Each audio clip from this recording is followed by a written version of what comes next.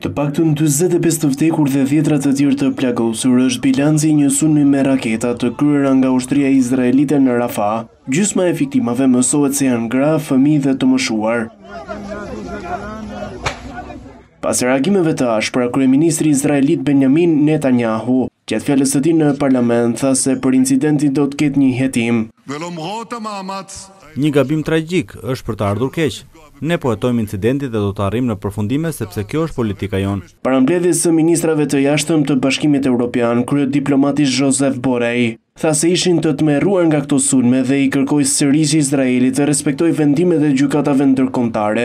Si pasojë e këtij sulmi, Hamasi u ka bërë të ditur ndërmjetësuesve ndërkombëtarë se nuk do të marrë pjesë në negociatat e parashikuara të martën në Kajro për arritjen e një armëpushimi dhe shkëmbimin e pengjeve.